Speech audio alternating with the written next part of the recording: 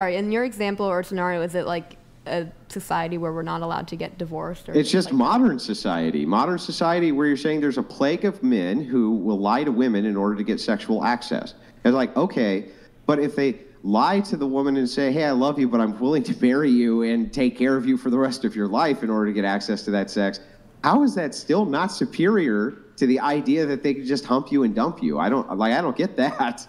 Like, I suppose that's you could say that's superior, but how do we get there? And why do you think it's just Yeah, but, but that's not really the question of how we get there. We have, first have to establish that that has to be superior to what we now have. I'm not committed to an answer on that. You're not committed to an answer. And so you don't you think it would be inferior that if men were marrying women for access to the sex that that would be an inferior system to what we have now? Where they just lie to them and then bang them and there's no consequences whatsoever?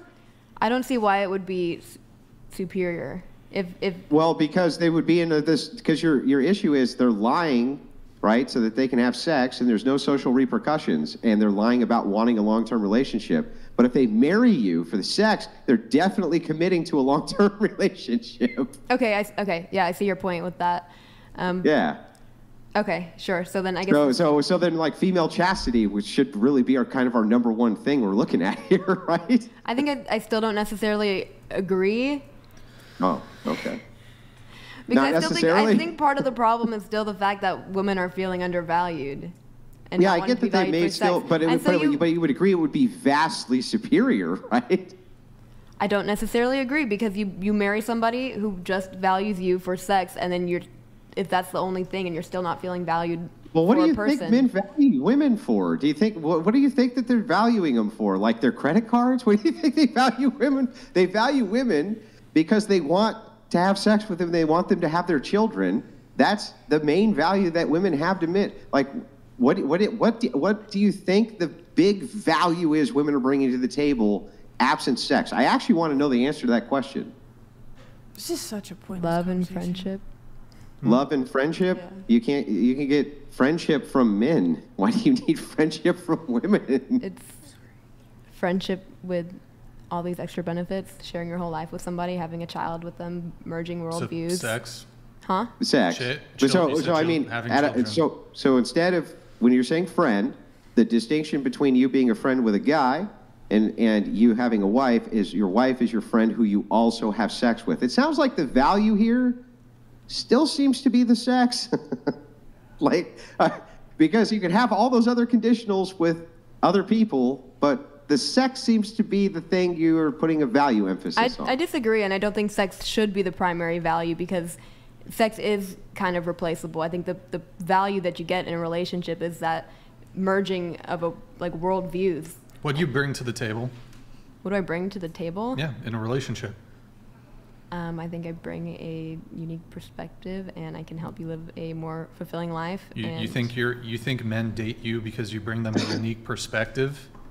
Yeah, I think I have given my partner a unique perspective, and I think I've Okay. I think I've helped him to start li- living a more fulfilling life, and to and I've led him to being a better person. Doesn't every human being on planet Earth have a unique perspective? No. No, they're not. No. No, How I could two human beings not have a u- unless you're saying all human beings are not unique? Sure, I would say a lot of people have. You could say down to the.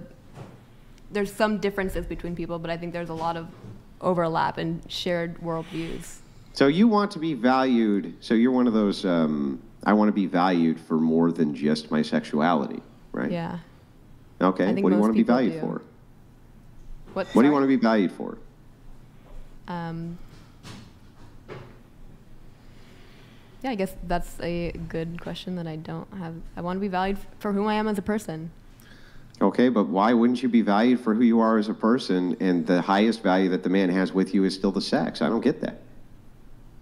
I still value you as a person. I think you're great. I think you're wonderful, this and that. But the not having sex thing, that's a deal breaker. That seems reasonable. I think I would want to be. I don't think I would want sex to be at the top of that list. Why? What I'm valued for. Would you want like a woman to value you most for the money that? Would you I provide? want my woman to value having sex with me more than anything? Oh, it's terrible. Oh, no. What would I do?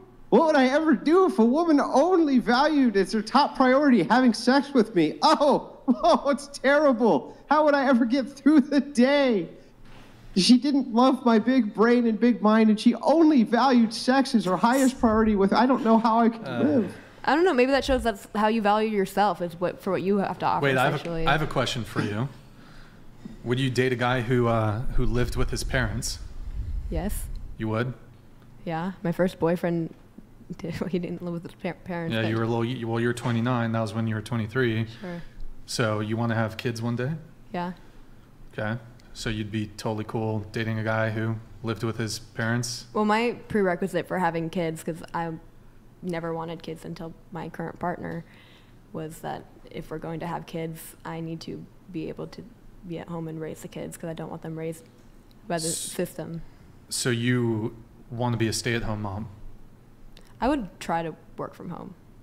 What kind of income you live in? Don't you live in one of the highest cost of living areas in California? You said you're from the Bay. hmm Isn't it like We're outside of the Bay, so it's a little lower. But okay? yeah. Well, in any case, California is still high cost of living. So, and you don't want to be working, so your partner has to work, correct? Mhm, Yeah. Okay. That is that is the requirement if we're to have kids. I don't and I don't think that's unreasonable because I think it's important for a mom to raise. So then you look to a man to provide. sure. Okay. Don't you think that in the same the same way you feel about your and I actually think it's a bit of a straw man that men only care about sex, but let's just grant it.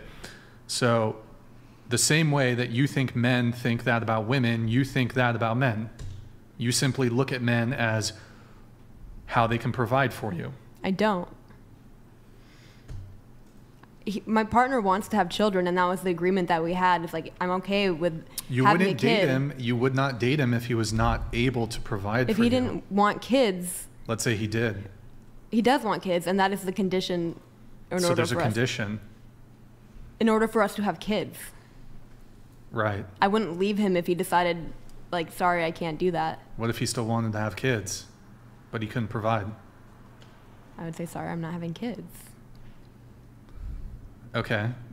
So if men, if women are sex objects, then men are success objects. I, am not valuing him on his success. It's the practicality reason for raising a child. Like, I don't want to be the kind of per- person that just has Okay. the, the school system raise We've been lingering on this for too long. Uh, one last thing, you'd said that men, you take an issue with men lying in order to get sex, correct? Yeah. So, for example, a man claiming that he wants long-term commitment, but he doesn't, in order to get sex. Yeah. That would be lying. hmm Have you ever told somebody you would love them forever? Yes. Have you told your current partner that? Yes. Is it possible something could happen down the line where you guys no longer? No. You think it's impossible that you guys you Yeah. guys are going to stay together Okay, forever? well, you, you, you can agree, though, right, that it's logically possible. Whether you think that it would actually happen, it's logically possible. he- Like Wolverine, logically possible, but it's but Wolverine doesn't exist, right? Do you- Uh, okay, I don't know let the me answer ask you to a that question. question. Do you think that there are couples out there where either the man or the woman has said to their partner, "I will love you forever," Yeah. and then they broke up or got divorced? Has that happened? Yeah. Okay. So, I mean, these are just kind of statements of affection that people say to each other. Okay. They're not they're not binding really. Sure. Okay. So if you tell someone I will love you forever, that's not like binding. You're not obliged to actually love them forever even though you've said it. Sure. Okay, but so your argument is is that well, men claim like these men say they want long-term relationships, but then they end up not, or they break up with a girl. Sure. Okay, so like I, I'm just trying to understand like men make these uh, like comments in an effort to I, what is your actual argument? I'm just confused here. Men lie? Is that the argument? Not men, all of them, but enough of them. Okay. Yeah. So do, so women who wear makeup in an effort to be more uh, physically appealing to men, is that a deception? Yeah. Okay. Are women manipulating men when they say they'll take that vow, I'll love you forever through sickness and health, and then they initiate 80, percent of divorces?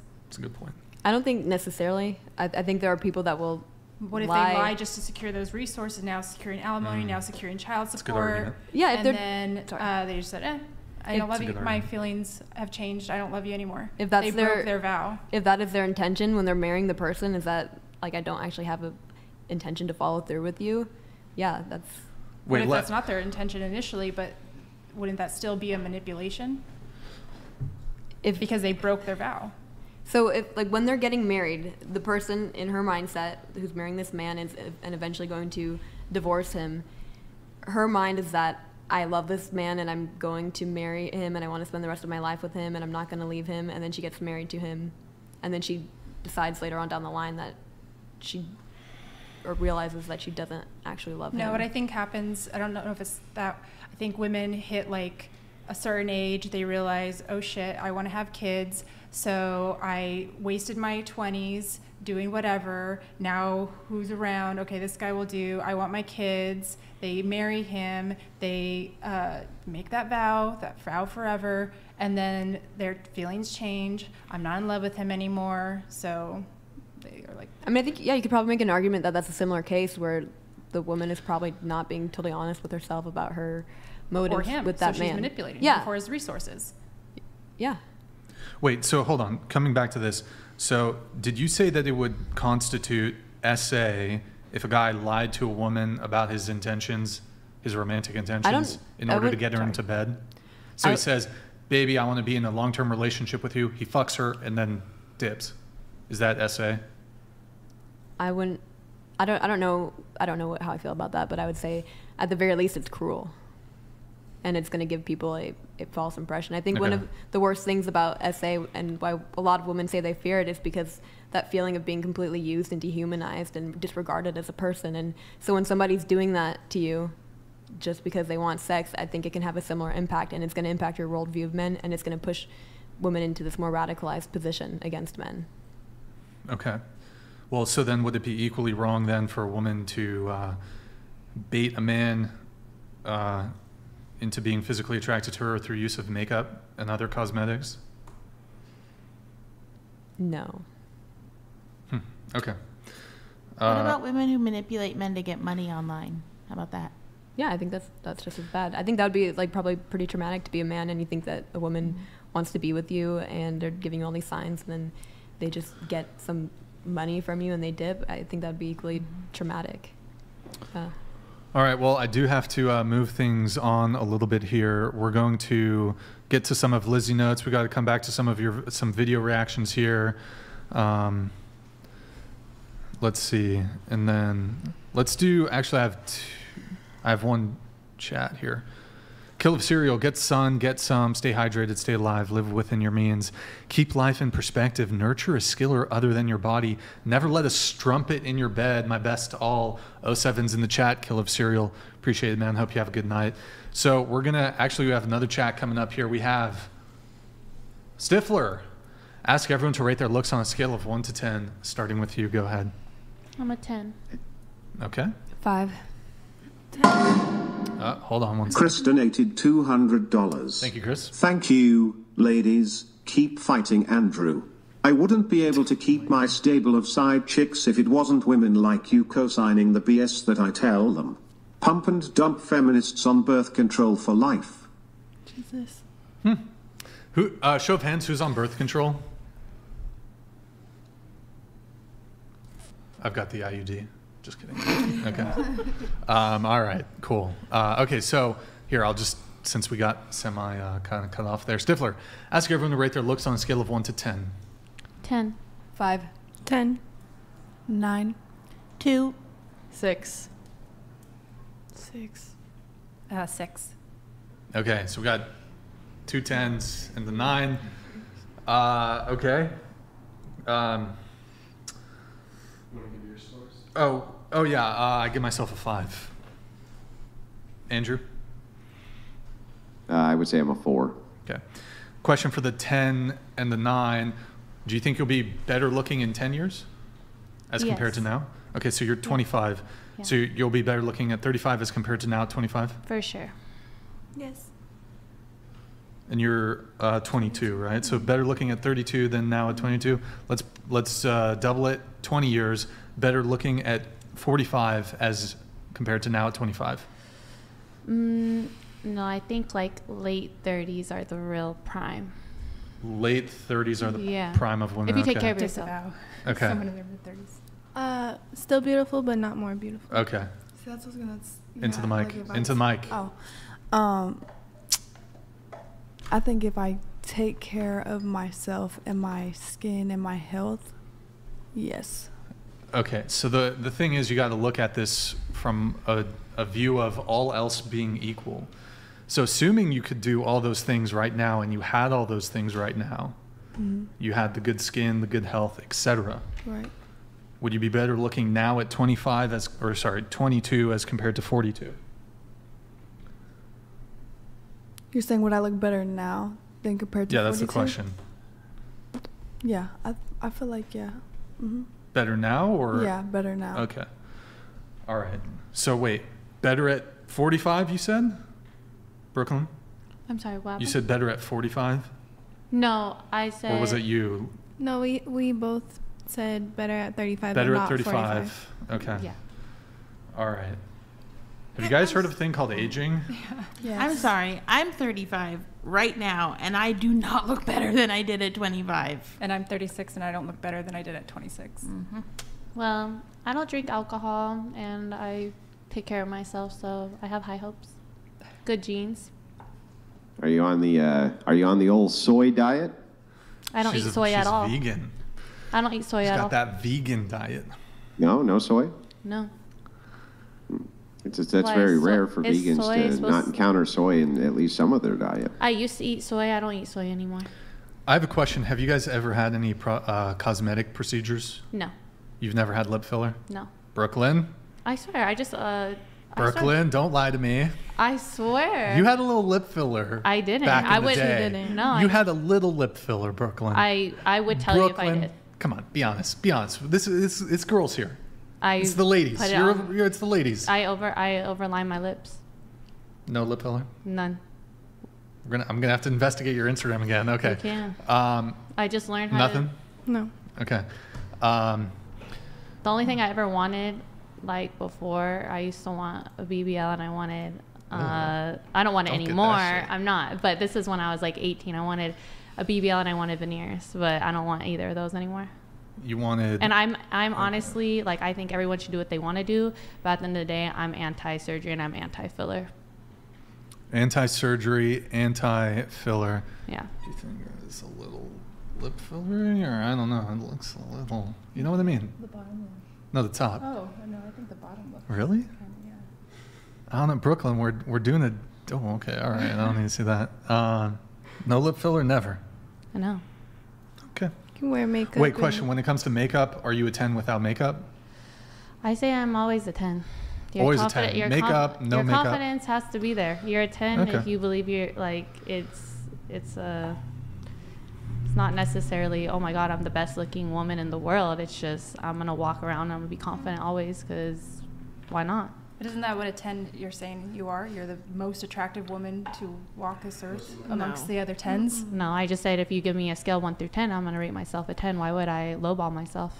Not be lowballing like yourself, you're just like Honesty. looking at i mean that's what we do as women we can gauge and we look and we see and you can say yeah that woman's prettier than me but oh if you're yes, saying of like, course there's women yeah, so more then- beautiful than me well then how would you be a 10 if someone's more beautiful because there could be other be multiple tens. Yeah, there could be multiple. that's what i just said so she's on par with all the rest of the 10 so all the most beautiful women in the world I think it mixes with personality too. that's not what It's the just question looks, was though. We're talking about looks.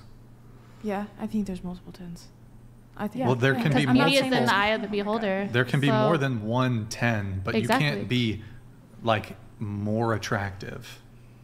If you're a 10, you are the most attractive. I feel like I'm God's creation. He did his thing. What can I say? Okay. Uh, yeah, but I'm by your standard God's creation too, and I'm not as pretty as you. That's just That's subjective. But that's how you feel about yourself. no, no. That's I think how if I were to ask all these men in this room who's prettier, you'd be prettier. But that would just be them like beauties in the eye of the beholder. But maybe someone would think you're more attractive than me. Well, I would question their. Super big. I wouldn't question it, girl. I would just take the compliment and run with it. I would That's- run. I mean, I she is mean- kind of not. I, I mean, you're certainly self-aware, Liz. Uh, I do think it would be the case if we lined up a hundred or a thousand or a million men, and we gave them a binary choice between. Uh, and Liz, love you to death.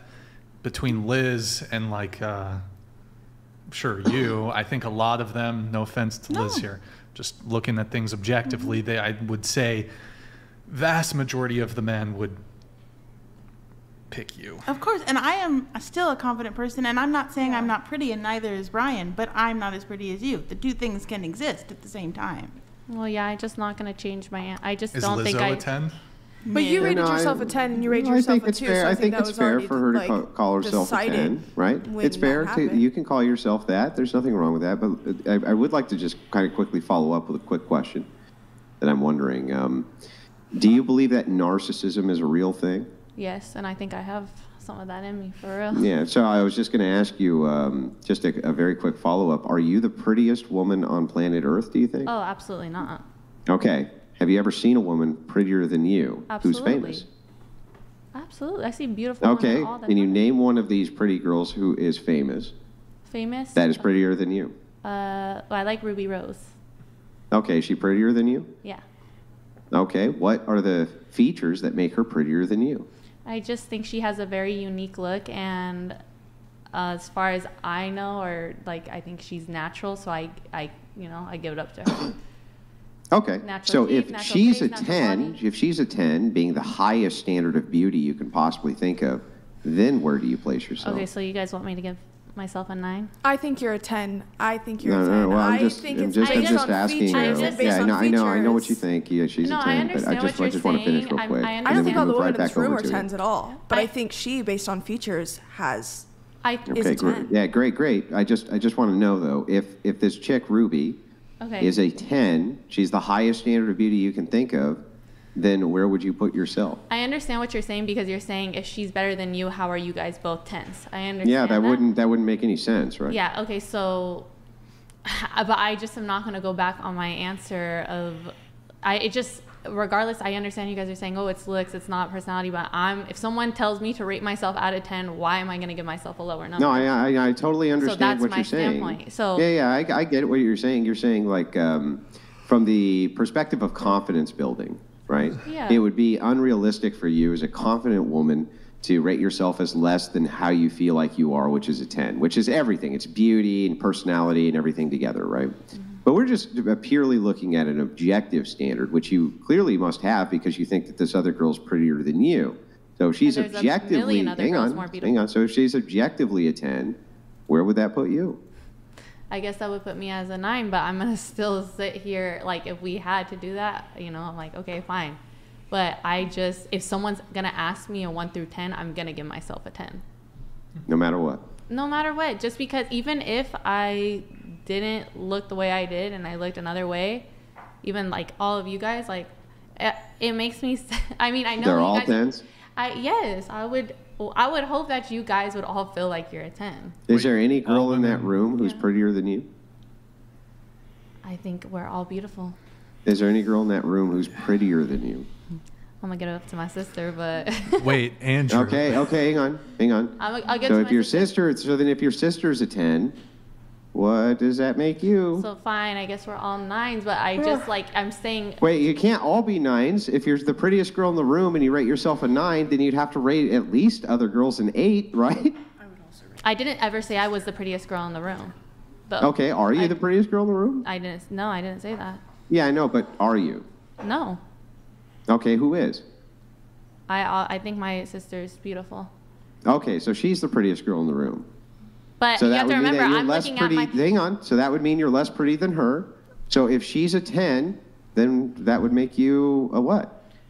A She could be a 10 too. But we could both be tens, but it's just like I think my sister's the most beautiful just off the fact that she's my sister and I know her and I'm in her face every day and also gonna give it up to her for being a natural woman. I just look at her with so much love that I like if I'm looking around and I see beauty, it's she's the first person I look at. But that's just Okay. because beauty's in Then that if your sister is a 10, if your sister is a 10 in comparison to all the other girls in the room, where would where would that put them? Is she, Okay, just so like we don't have to go on with this conversation because I feel like I've already said my standpoint. because you If she's- absolutely loathe answering questions in an no, honest no, way. no. I'm just, I'm just. It's like it's not gonna. You're not gonna let it go. So if say if I say my sister's the prettiest in the room, she's a ten, and then fine, then the rest of us can be nines. Does that work? Well, that still wouldn't work because then who would the second prettiest girl in then every be? You? so then in so you then everyone would have to go down one number, correct? Well, no. So here's how it would work then. I'll explain. If she's a 10 and you that I'm, I would just ask you, are you the the second prettiest girl in the room?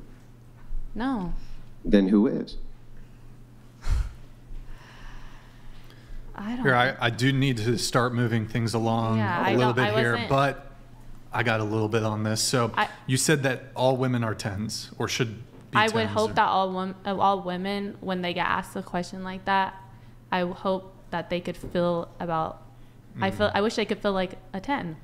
You think it should be the same for men too? Are all men tens? I think when men feel and act as their tens, they're more pleasant to be around than just being That's like, true. Really? yeah. just because it's just how you carry yourself at the end of the day. A confident man is, I would take a confident, a confident man that's not as good looking as a super good. What like, if he's not confident and he's so just true. delusional? You don't know any guys who think they're hot shit but they're not. Oh, of course, Definitely. But isn't But that good being for them. confident? But good, for them. but for, good them. for them. I feel like good. You don't clown dudes like that.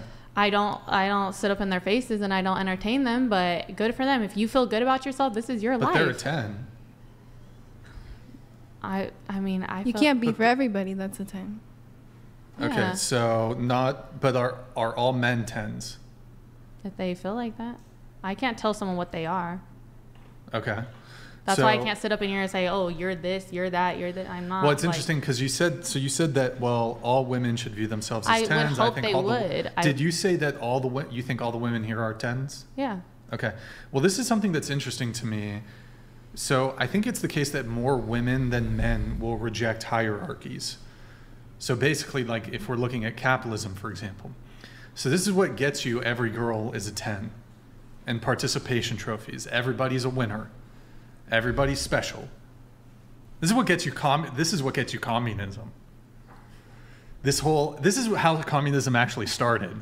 This is how communism started is women were like we're all fucking hotties, we're all bad bitches, we're all tens. Everyone gets a trophy. And then, you know, women are they're overwhelmingly vote for leftist politicians and policies. You know? I think that's the origination of communism really because you reject hierarchies. I just think if I were to sit here and say, "Oh, Y'all you're," reject hierarchies. I just think if I were to sit here and say you're a four, you're a two, I think that would drop me from a ten to a piece of shit. Well, okay. honestly.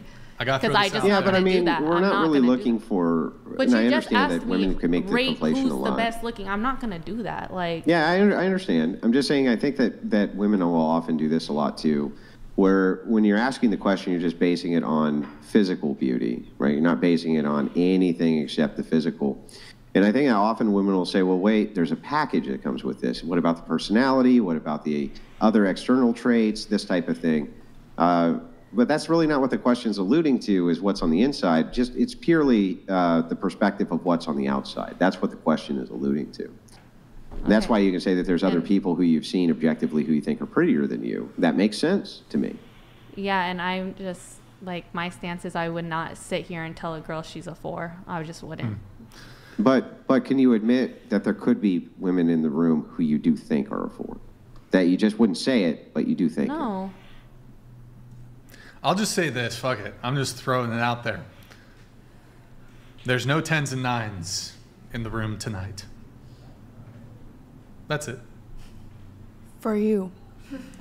Okay, oh shit. Okay, you want you want to squabble over this? Not a nine, not a ten, not a ten. No, I'm saying, sorry. like, Y'all are lovely. I uh, love you guys. Great personalities.